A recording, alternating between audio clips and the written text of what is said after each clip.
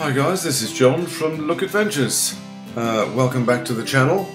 Um, today um, we're going to be introducing you to the third of our Costa Rican wildlife bite size, uh, which is a series of short films um, about the animals that we've encountered whilst in the Pacific south of Costa Rica.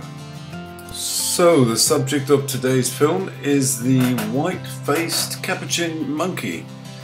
Um, to give it its full name, it's the Panamanian white-faced capuchin um, and is present right through Honduras, Nicaragua, Costa Rica and Panama. So the capuchin monkey is a highly intelligent monkey, uh, rose to fame um, during the filming of Pirates of the Caribbean, um, where it had a starring role. Um, people do actually take them as pets, which is really not a good idea. They, you know, you have to remember they are wild animals and should be left in the wild, but they can be, they can on occasion be aggressive.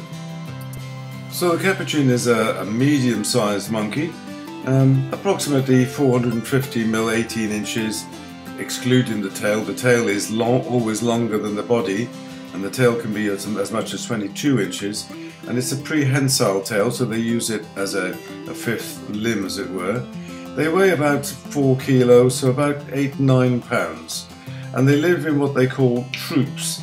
There are other names that they um, that they that they have for these troops. They some of them some people call them barons, some cartloads, tribes, wildernesses and, and those groups can be quite large, anywhere from 16 to 30 um, animals. So the troop is made up of about three quarters females, the rest being babies and males. The males um, tend to leave the group or the troop um, when they're about four years old, and they tend to continue to move once every four years, joining other groups um, the troops can be quite aggressive towards each other um, and they have quite a large territorial range, anything up to about 250 acres, so they need a lot of room. So the capuchin monkey is um, an omnivore. Um, eating, its diet is made up mainly of fruit, 50-70% of its diet is fruit, the rest being made up um, from all sorts of other things. They will actually, as I've said, take um, coati babies, parrots, squirrels, anything that they can that they can uh, catch really.